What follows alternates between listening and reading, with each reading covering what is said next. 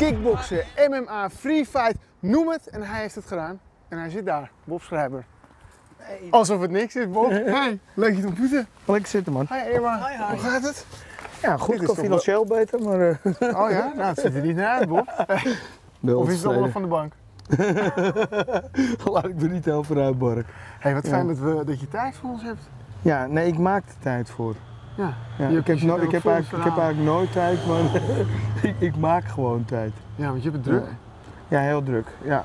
Sportschool, alle dingen eromheen en eh, ja, gewoon druk leven.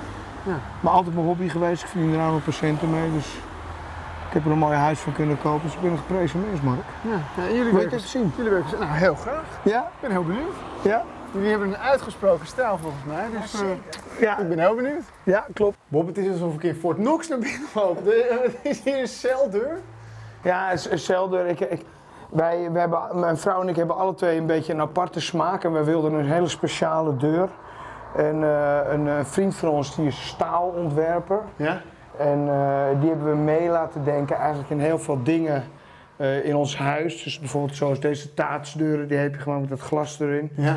Ja, en, en eh, we hebben hem eigenlijk een deur laten ontwerpen, een deur laten maken. Eh, ja, gewoon een celdeur. Dus ja. Ik neem aan dat dit de wc is, toch? Dit is de wc, ja. Dit is de wc, ja. Ja. Ja, en het, he- het hele huis is, is wel een beetje, een, Zo, beetje, een, beetje, zeg. een beetje apart. Ja. Ja, tralies, die muur. Eh, Geweldig. de kachel, de kachel, dat vind ik echt, dat is echt een pronkstuk van ons, vind ik dat. Irma en ik hebben altijd een houtkachel Ja? of een haard willen hebben. In de eerste instantie wilden we een zeemijn als kachel, maar dat is eh waaibomenstaal, zal ik maar zeggen. Dus daar kan je geen, eh, geen, eh, geen kachel mee maken. Eh, en toen hebben we hem een kachel laten ontwerpen en eh, ja, dat vonden we alle twee gewoon een hartstikke mooi ding. Ja, Hey, we hebben het natuurlijk niet over eh, je binnenhuisarchitectuur, wat dus een hobby van je is. ja, ja. We gaan het natuurlijk ook over je fantastische carrière Ja. hebben. ja vind ik leuk. Waar is het begonnen bij jou? Jeetje, dat is, eh, ja, en, eh, zullen we gaan zitten? Vind je Lijkt dat prettig? gewoon, Ja? zeker. Ja. Je hebt me wat te vertellen nu. Ja, ja, ja, ja, ja. Waar is het bij jou begonnen? Ehm, jee, waar is het begonnen? Mijn vader is vroeger een judo-leraar geweest. Dus eigenlijk kregen we martial arts kregen we met de paplepel ingegoten. Dus ik was al heel jong, ik weet niet eens meer hoe oud. Zijn we begonnen met judo. En eh, dat was eh, een judoclub in Zandpoort waar hij ook les gaf, mijn vader. En eh, dus eigenlijk is martial arts al, ja, wat ik net al zei, met de paplepel ingegoten. Mijn vader heeft het vaderschap anders gezien dan dat ik het nu zie. Man van de harde hand en ja, het leven draaide om hem en niet echt om ons. Tenminste, zo zie ik het nu. Hè. En mijn moeder was wel heel lief, maar heeft ook een beetje de spijker misgeslagen. En eigenlijk ben ik een beetje met agressie opgegroeid, eigenlijk, eh, met mijn vader. En ehm, dus ik ben eigenlijk, eh, ja, als je dat met de paplepel ingegoten krijgt, dan eh, projecteer je dat ook op andere mensen. Dus ik ben altijd vechtersbaasje op school geweest, gewoon, ja, gewoon een klerenleider, klaar. En eh, ja, het ging allemaal ook niet zo goed op school. En ja, veel vechten, met politie in aanraking. ja, gewoon veel ellende. Ja. Toen eh, was ik tien, toen gingen mijn ouders die gingen scheiden. Mijn broer ging eh, met, mijn, eh, met mijn vader mee en die woonde toen in Haarlem en ik woonde bij mijn moeder. En ja, het ging met mijn moeder ook niet zo goed. Mijn vader had niet zoveel, niet zoveel oog voor mijn broer. En ja, toen besloten we dus met z'n tweeën, dat was in de punkperiode was dat, dat was eind jaren 70, eh, besloten we met z'n tweeën weg te lopen van huis. Toen je tien was. Nee, eh, toen was ik 12. Toen zijn we in eh, Amsterdam beland en eh, af en toe werden we wel eens opgepakt, werden we weer teruggebracht, maar de volgende dag waren we alweer weg. En ik had toen de tijd ook vrijstelling van de leerplichtwet gekregen. Ik was onhandelbaar inmiddels geworden op school. En ja, tegenwoordig heb je dus een enorm vangnet voor dat soort kinderen, maar ehm, eh, toen had je dat niet zo. Je kreeg te maken met de Raad van de Kinderbescherming. Ik heb die naam nooit goed begrepen waarom dat bescherming heet, Raad van de Kinderbescherming. Want dat waren echt de grootste klootzakken die ik ooit in mijn hele leven heb meegemaakt. Nee, ik heb nog wel erger meegemaakt, maar goed. En- maar goed, ehm, in die periode kwamen wij in Amsterdam te- terecht en wij waren heel erg punk. Eh, we hadden ook een beentje en dat soort dingen. Dus toen liepen we weg van huis en toen hebben we een beetje een zwervend bestaan geleden toen eigenlijk. Van kraakpand naar kraakpand en soms eh, sliepen we op straat en soms eh, daar een beetje hier. Eh, ja, ik, ik rookte, ik blode en ik dronk al. En ja, dan kom je in aanraking. Wat weet je als je 12 bent met, ja, met andere drugs. Ik bedoel, coke, speed, heroïne. Wat heftig. Ja, ja, ja het- iedereen zegt dat, maar zo heb ik het eigenlijk nooit ervaren. Zo ervaar ik het eigenlijk nog, nog steeds niet. Kijk, als ik mijn leven over zou mogen doen, dat moet ik wel zeggen, Mark, dan zou ik het zeker anders doen. eh, want ik heb eh, heel veel mensen verdriet gedaan, helemaal in mijn drugsperiode. Eh, inclusief mezelf heel veel verdriet gedaan. Maar ja, goed, wat ik net al zeg, wat weet je als je 12 bent? Niet Hm. veel. Weet je. Je, je bewandelt een weg, je gaat een kant op en pff, je ziet helemaal geen horizon, je ziet, geen, je ziet helemaal niks, je, je doet maar wat. Ja. En ehm, ja, dat is goed fout, dat is goed fout gegaan uiteindelijk. Heb ik een heel erg justitieel delict eh, eh, eh, ondergaan. Ik heb iemand neergestoken toen de tijd. eh, ehm, in, een, in een vrij zware vechtpartij. En ik heb toen een vrij zware jeugdstraf gehad. Ik was toen 15. En ja, toen kwam ik dus in, in, in de bak terecht. En ja, cold turkey.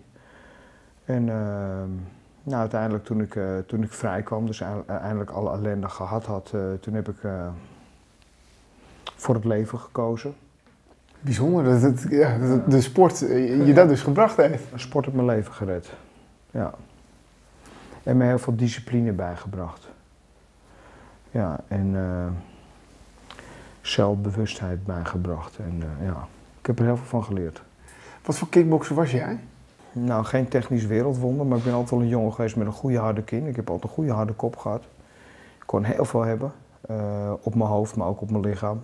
Eh, ik ben nog nooit op mijn leven neergegaan, ook niet bij het trainen. Ik ben er nooit op mijn hoofd, ja wel één keer, tegen NSO Host in een K1-toernooi. Sloeg hij me eruit. Stond ik in die finale, had ik al twee hele zware partijen gevochten. Maar goed, dat vind ik ook geen schande. Van, van al die wedstrijden één keer, nou vind ik het wel meevallen. Dus ik heb altijd een hele harde kop gehad. Dus ik eh, ja, ben nooit tevreden geweest met een trekstootje. Ik, eh, je moest mij echt aftuigen om voor mij te winnen. Ja. Dus je moest goede conditie hebben. Zelf ook een goed incasseringsvermogen hebben, omdat ik zelf ook al een rosser was. eh, om voor mij te winnen. Je was een publiekslieveling ook. Ja, misschien om die reden wel. Er was altijd spektakel. ja, ik ben altijd voor goud gegaan. Eh, alle mensen waar ik mee gevochten heb, eh, ik weet zeker dat ze mij nog kunnen herinneren. Ook van de mensen waar ik van verloren heb.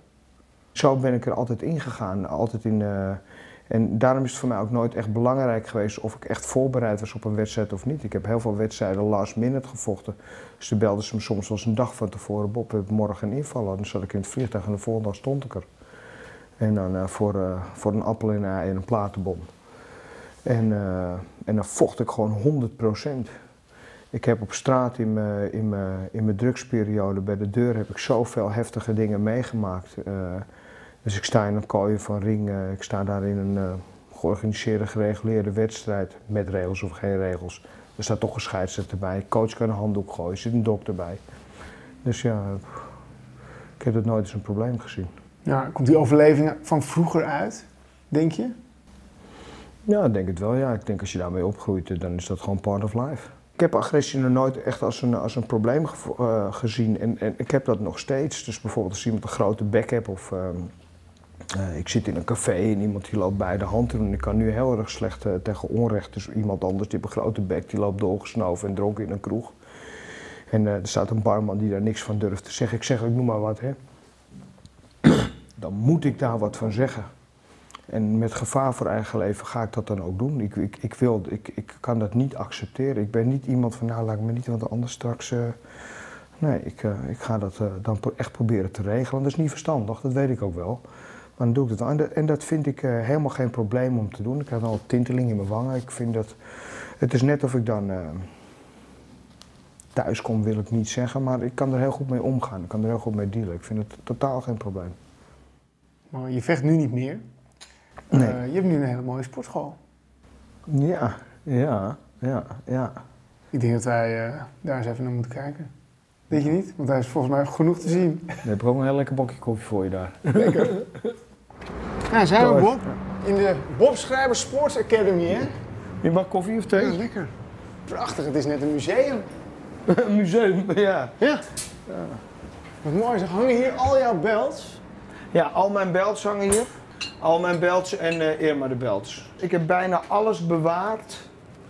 Eh, ik moet hem reinigen, dus eh, Nou, die koffie het la- goed. Laten we gewoon lekker in een wat, wat, wat- het zijn allemaal foto's, het zijn allemaal belts. Je hebt alles bewaard. Nou, in ieder geval wel heel veel. Ik heb heel veel foto's bewaard, heel veel eh, certificaten, bijna al mijn bekers, die laat ik je straks boven zien. Ja, en eigenlijk al mijn gordels. Dus ik ben er altijd heel erg zuinig op geweest. Ja. Wat was je eerste gordel die, die hier hangt? Mijn eerste gordel is dat hele lullige rood-wit-blauwe dingetje. En ik heb de poster ook nog dat ik hem moest vechten, die hangt boven. Het was, meen ik, in 1992 was het. Ja? Het was eh, voor de Nederlandse titel tegen Har- Harold Hagen. Eh kickboksen, volgens mij was dat in Sporthallen Zuid, was dat. Ja? En dat Ja. was nog kickboksen, want je kickbokste toen. Wanneer, wanneer is voor jou die overstap van kickboksen naar MMA gegaan? Oeh, dat is een hele, hele lastige vraag is dat. Ik, ik, op een gegeven moment was er een van de kooi-evenementen was in België, in Antwerpen werd er toen georganiseerd. En het heette, nou het was een no-rules gevecht, weet je, als bare knuckle was dat toen nog. En eh, ze waren nog heel erg op zoek in het begin met het MMA en het free fight van wat voor regels ze gingen doen. Ja. Dus heel vaak eh, werden geen regels of een beetje regels werden gedaan. En toen eh, belde Gerald Godot mij op, want die was daar een beetje, had wat te maken met die organisatie daar. Of ik, eh, of ik daar een wedstrijdje wilde doen, in of in een toernooitje wilde vechten. Ik van, nou ja, goed, maar het schelen. Een toernooi, bare knuckle. Ja, ja, ja. Ja, Heftig. Ja het, is, eh, ja, nou, het valt wel mee. het, het, het valt wel mee. Dus, eh, en toen eigenlijk eh, heb ik twee wedstrijdjes gevochten. En die verloor ik alle twee op een verwurging. Of op, nou, ik weet niet precies, op verwurging meen ik, ja. En toen dacht ik goh, dit gaat me niet meer gebeuren. Dus toen ben ik heel fanatiek alle gronddingetjes hier en daar overal gaan, gaan oefenen. Bij Chris Dolman ben ik een beetje op de grond gaan rommelen. Ja, toen in het begin waren we nog ontzettend zoekende, weet je wel, naar van, ja, wat is... Kijk, tegenwoordig is de MMA gewoon echt een niet normale professionele sport, weet je. Ja. Die mensen zijn niet meer naar de grond te brengen. Ze blokken allemaal een low kick, ze kunnen allemaal goed boksen, ze kunnen allemaal goede takedowns maken. Het is gewoon een heel compleet plaatje. Maar vroeger in mijn periode, in mijn tijd, had je een goede staande vechter, een goede bokser, een goede trapper, een goede judoer, snap je? Ja. We deden allemaal gewoon onze eigen, eigen expertise, gingen proberen de anderen te overwinnen. Ja, ja, wat eigenlijk een heel ongecontroleerd zootje was. ja, goed, dat, is, dat heb je met als iets net begint en eh, ja, als je nog zoekende bent. Ja, wat trok jou dan in het MMA-vechten? Want je bent er uiteindelijk wel meer naartoe getrokken dan het kickboksen, of Ja, niet? ja ik, ik, het klinkt heel stom wat ik nu zeg, maar ik had heel snel door dat dat de sport ging worden, eh, dat dat het kickboksen ging inhalen. En als ik nu zo zie van eh, ja, grote, grote MMA-organisaties, is het MMA wel boven het kickboksen uitgegroeid. Tenminste, dat is mijn opinie. Hm. Eh, en ik had dat heel snel door. En ik vind het gewoon een ontzettend leuk spel, eh, spelletje. Het is gewoon het evenaart het meeste het echte gevecht. Eh, ik ben altijd op zoek geweest naar, eh, naar eh, ja, om gewoon de, ja, dat klinkt heel stom om te zeggen, maar de onverslaanbare te worden, weet je Ja. wel. En natuurlijk ben ik wel, het slaat helemaal nergens op, maar gewoon van, nou, om gewoon overal goed in te zijn. Ja. En eh, ja, ehm, ja, het is gewoon echt het complete gevecht. Hey, je ging je bekers ook laten zien. Zullen we Ja. rustig aan naar boven lopen? Ja, is goed. Hey, en wat is hier? Want ik zie hier ook nog een zaal. Laten we eerst Ja. die trap omhoog Ja, en ja. omlaag gaan. Ja, dit is, eh, eigenlijk heb ik in mijn sportschool, hebben we in onze sportschool twee zalen. Ja. Het is een benedenzaal. Hier doen we altijd de klassikale bokzaktrainingen en de conditietrainingen. En Ja. boven daar doen we dan de spartrainingen. Dus ja, dus hier, eh, Ja. Ja. En hier is ook wat no- nostalgie, hè? Want ik zie hier al Ringsport top 25, Ja. waar jij gewoon op één staat. ja, Ringsport dat was een heel goed, go- goed eh, martial arts blad in Nederland. En die had toen een, eh, een, eh, een, een verkiezing wie eh, de beste vechter in dat jaar was. Zoals kijk, hier was Remy Bonjanski. Ja. was hier nummer 1, dat was dus in 2005. Nou, en ik was in 2002, dus dat is even iets ervoor was ik. En hier staan de- de- alleen maar grootheden op. Ja. Mensen, En mijn vrouw, mijn- Host, mijn vrouw ook. Kijk, nummertje- staat er ook. ja, nummertje Ongelooflijk, 24. ja. Wat was er in het jaar 2001, 2002 waarom jij op één stond? Nou, ik, ik heb toen, in, eh ja, toen eh eh Toehato Hendel, dat was toen, toen de tijd een hele grote organi- eh, MMA-organisatie. Die heel goed in Nederland, maar ook in de wereld aan de weg timmerde. Heel veel in Rusland, heel veel evenementen georganiseerd heb. Ja, en ik vocht toen eigenlijk op al hun evenementen. En ik was eigenlijk altijd wel de hoofdpartij en, eh, ja, eh, ja, en, en een volle salentrekker. Ik heb een keertje voor een uitverkocht Ahoy gezorgd. Er zaten toen, nou dat weet ik niet hoeveel mensen in de Ahoy kunnen, maar die was helemaal uitverkocht. Er stonden mensen buiten om kaarten te vragen, omdat ze heel graag Bob Schrijver tegen Gilbert Eiffel wilden zien. Ja, was ook een behoorlijke slagpartij. Dat, Ja. moet, dat moet ik wel zeggen. Dat moet wel partij? zeggen. Eh, nou, die partij die heb ik verloren, want eh, eh, mijn vrouw Irma die gooide 10 of 15 seconden voor het einde van de wedstrijd de handdoek. En eh, eh, dat heb ik er heel erg kwalijk genomen. Ik werd, was heel erg boos, maar ik moet wel voor, van tevoren zeggen.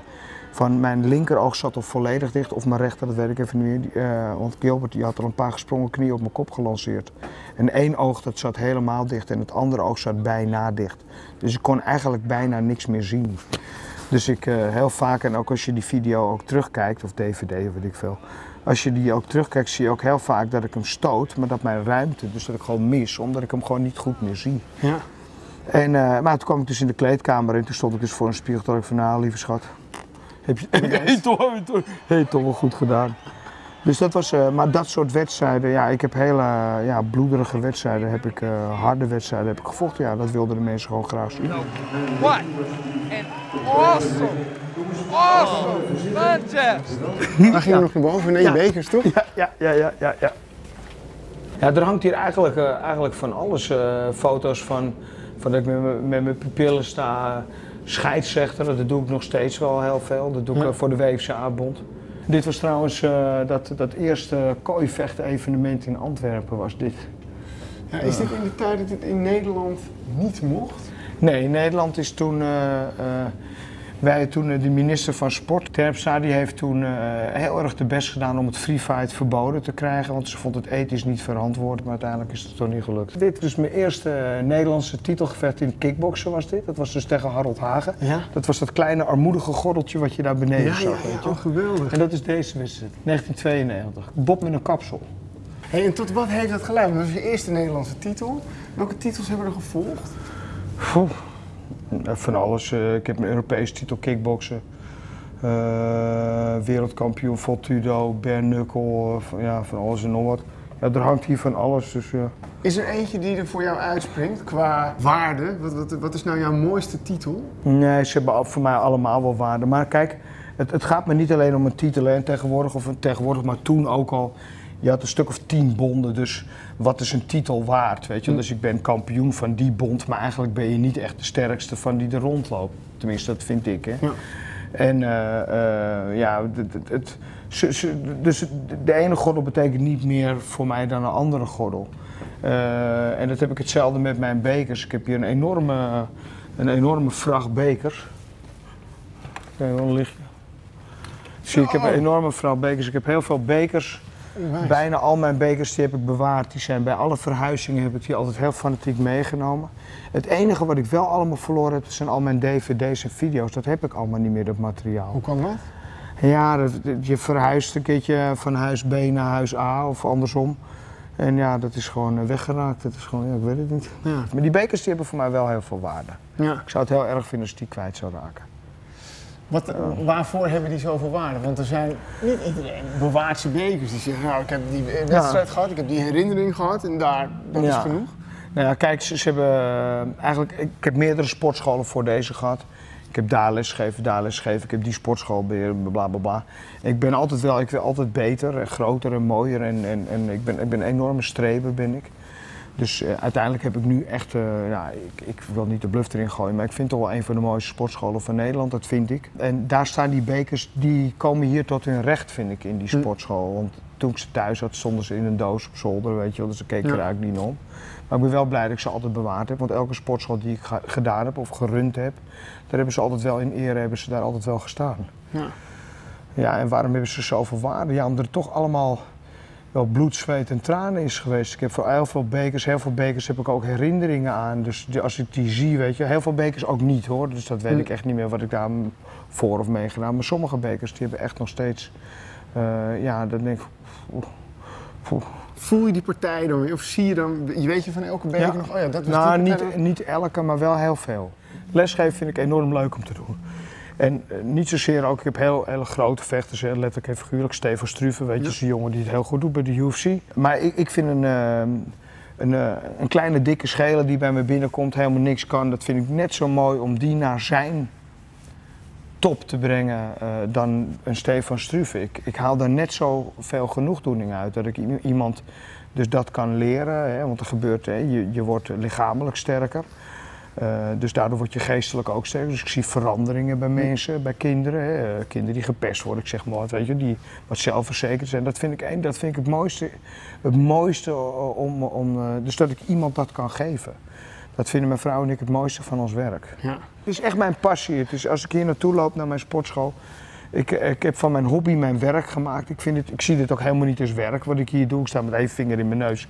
Sta ik mijn lessen te draaien. Neem het niet te letterlijk. Maar sta ik hier mijn lessen te draaien. Ik vind het gewoon enorm leuk om te doen. Ik verheug me alweer op morgen op de volgende of vanavond op de, op de lessen die komen gaan. Dus ik ben een, uh, ik ben een geprezen mens. Mooi op. Dankjewel. Graag gedaan met alle liefde. Super. Dankjewel.